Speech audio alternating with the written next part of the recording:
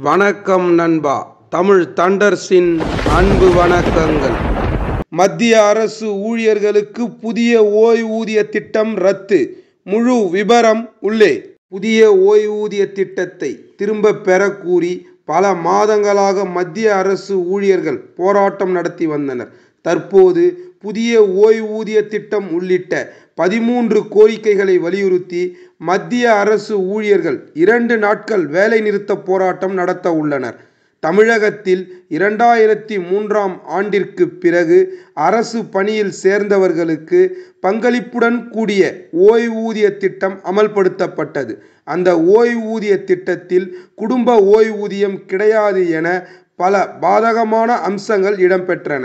எனவே இந்த புதிய ஓய்வூதிய திட்டம் வேண்டாம் எனவும் பழைய ஓய்வூதிய திட்டத்தை அமல்படுத்த கோரியும் அரசு ஊழியர் சங்கங்கள் மற்றும் ஆசிரியர் சங்கங்கள் அரசுக்கு கோரிக்கை விடுத்தன. பல ஆண்டுகள் கோரிக்கை வைத்தும் இந்த பழைய ஓய்வூதிய திட்டம் அமலுக்கு வராத காரணத்தினால் அரசு ஊழியர்கள் அனைவரும் போராட்டம் நடத்தினர்.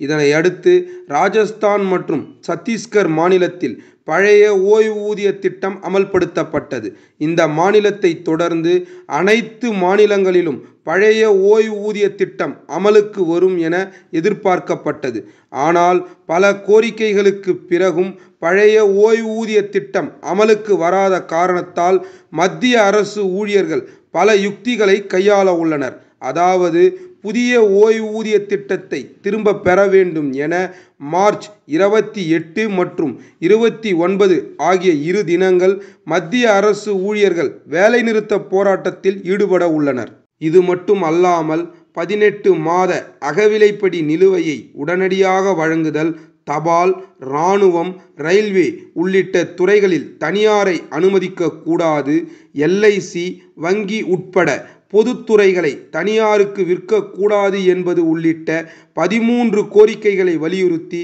மார்ச் இருபத்தி எட்டு இருபத்தி ஒன்பது ஆகிய தினங்களில் மத்திய அரசின் பல்வேறு துறைகளை சார்ந்த ஊழியர்கள் மற்றும் அதிகாரிகள் வேலைநிறுத்த போராட்டத்தில் ஈடுபட போவதாக அறிவித்துள்ளனர். லைக் பண்ணுங்க ஷேர் பண்ணுங்க கமெண்ட் பண்ணுங்க மறந்துடாத சப்ஸ்கிரைப் பண்ணிடுங்க. அப்படியே பக்கத்தில் இருக்க பெல் ஐக்கனையும் ப்ரெஸ் பண்ணிடுங்க. இந்த காணொளியை பார்த்த அனைத்து நல்லுள்ளங்களுக்கும் தமிழ் தண்டர்ஸின் நன்றிகள்.